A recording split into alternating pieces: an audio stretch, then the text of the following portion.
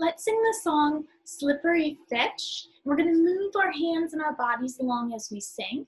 If you don't know this song, see if you can pick up on the pattern and start to move along with us as it does kind of repeat. So hopefully you'll start to get those movements as we go through.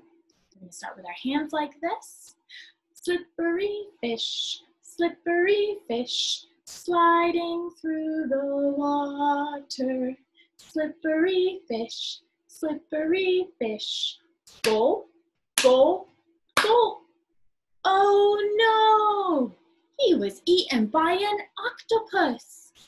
An octopus, an octopus, swiggling through the water. An octopus, an octopus. Go, go, go.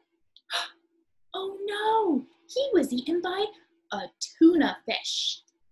A tuna fish, a tuna fish, flashing through the water. A tuna fish, a tuna fish. Go, go, go. Oh no! He was eaten by a great white shark. A great white shark a great white shark lurking in the water. A great white shark, a great white shark. Gulp, gulp, gulp. Oh no! He was eaten by a humongous whale. Are you ready for the last verse? Humongous whale, humongous whale, spouting in the water. Humongous whale, humongous whale. Gulp, gulp, gulp. Burp. Excuse me. That was a fun one. I really like how we got to talk about each of those different animals and they each were doing something different in the ocean. Did you notice that? First there was the slippery fish. What was he? He was sliding in the ocean.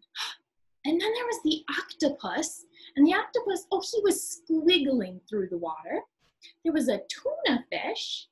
He was flashing in the water, bright, shiny scales flashing in the light in the water. There was a great white shark. He was lurking in the water. And there was a humongous whale. He was huge and he was spouting in the water, spouting water up from his blowhole. I sure enjoy those ocean animals. I hope you did too.